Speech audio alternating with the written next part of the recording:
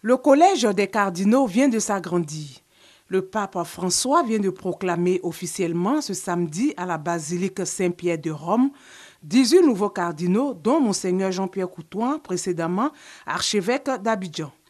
Chaque nouveau cardinal devant le pape François a reçu ses attributs composés notamment de barrettes de coiffe rouge à quatre bords et l'anneau cardinalis. Ils ont également reçu une feuille de route contenant les directives de leur ministère. 16 des nouveaux cardinaux deviennent électeurs en cas de conclave et les autres âgés de plus de 80 ans sont sans droit de vote.